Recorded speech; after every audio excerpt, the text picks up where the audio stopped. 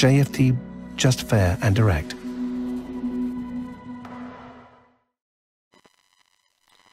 Good morning everyone and welcome to JFD's daily market review for September the 23rd. I am Charalambos Pissouros, head of research here at JFD and I will talk about yesterday's main market movers, what's my opinion moving ahead, what are today's important events and how they could affect the markets. But before we start, let's read our disclaimer. The content we produce does not constitute investment advice or investment recommendation, should not be considered as such, and does not in any way constitute an invitation to acquire any financial instrument or product. I will leave you a few seconds to read the rest and then we will jump into our analysis.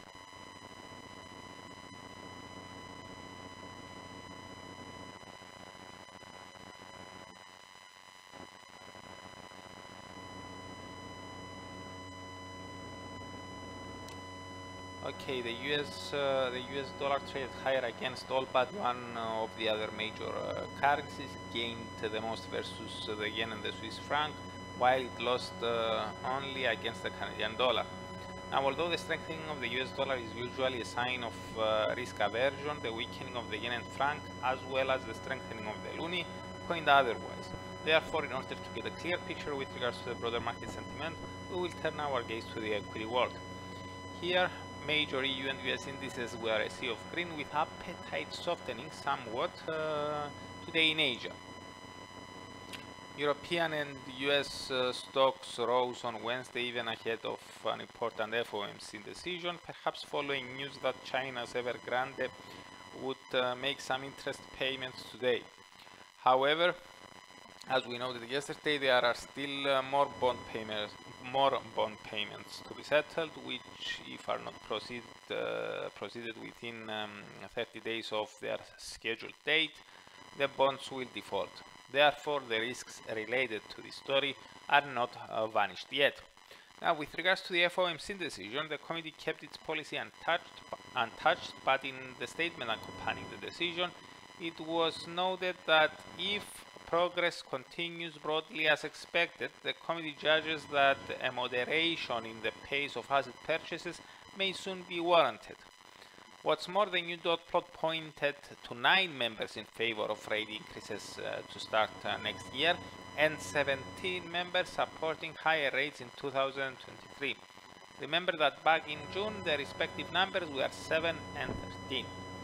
It seems that many market participants may have interpreted the statement as a hint for a November tapering, which combined with a more hawkish view on interest rates resulted in a dollar rally and an equities uh, pullback.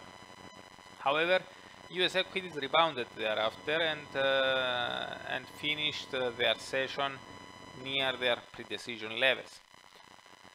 At the press conference following the decision, though, Fed Chair Powell said that uh, a, gra a, gradual uh, tapering process uh, that concludes around the middle of next year is likely to be appropriate, a statement implying a 20 billion US dollars taper at each meeting, but also that the process could still start in December. Although the important point here is that once tapering is finished, interest rate uh, increases are likely to take uh, center stage. This could happen uh, next year. It would be interesting to hear that policymakers, excuse me, it would be interesting to hear what policymakers have to say in the aftermath of the meeting over when they believe it would be more appropriate to start uh, scaling quantitative easing purchases back. If most of them insist uh, that November uh, would be a better, uh, a better option, the US dollar is likely to continue being supported. Now, today the central bank torch will be passed to the um, to the SNB and the Bank of England. The SNB is widely, is widely expected to keep its policy unchanged and maintain its uh, dovish stance, repeating that the Swiss franc remains highly valued and that they remain ready to intervene in the FX market when deemed necessary. Therefore, all the attention may fall on the Bank of England decision. At their latest meeting, British policymakers lowered the threshold of when they will start uh, reducing their stock of bonds. Specifically, they said that they will do so when the policy rate hits 0.50% by not reinvesting the proceeds of maturing debt. The previous guidance was for the bank to not start unw unwinding its stock of bonds until interest rates were near 1.5%. Now, our view, this means that the process may start earlier, uh, earlier than previously anticipated. Now the big question is when the time would be appropriate for officials to start raising interest rates. A couple of weeks ago, Bank of England Governor Andrew Bailey revealed that even at the prior gathering, policymakers were split evenly between those who felt uh, that the minimum conditions for, rais for raising interest rates were met and those who believed that the recovery was not strong enough. This suggests that a rate hike could take, uh, could take place sooner than many may have been anticipating, and the accelerating inflation last week may have allowed market participants to increase their bets on that front. So with all that in mind and also taking into account that the bank is likely to stop buying additional bonds around the end of uh, this year, but still continue reinvesting the proceeds until interest rates hit 0.50%, it will be interesting to see whether other members will join Michael Saunders in voting for halting the purchases now, and whether we will uh, get any clearer hints of when officials intend to start raising interest rates. Recently, Saunders said that interest rates may need to start rising next year, a view which, if shared among uh, other members as well, could help could, could help the pound uh, rebound.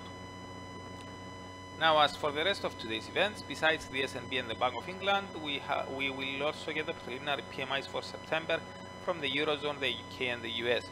In the Eurozone, both the manufacturing and services indices are expected to have declined somewhat to 60.3 and 58.5, from 61.4 and 59 respectively, which will take the composite index slightly down to 58.5 from 59.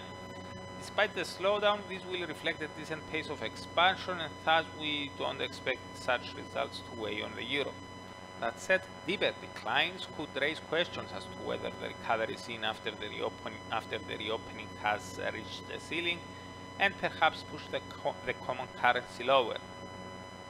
No forecasts available for the UK prints, while in the US the manufacturing index is expected to have inched up to 61.5 from 61.1 and the services one to have ticked down to 55 from 55.1.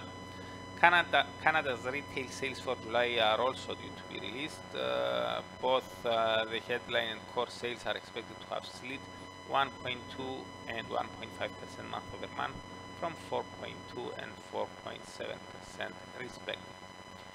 So that's it uh, from me. Thank you very much for watching and listening. For those who are interested in learning about the main events of the week much earlier, you can subscribe to the Weekly Market Outlook webinar, um, which I'm holding every Monday at 7 o'clock AM GMT. So goodbye, have a great day, and I'm looking forward seeing you here again tomorrow.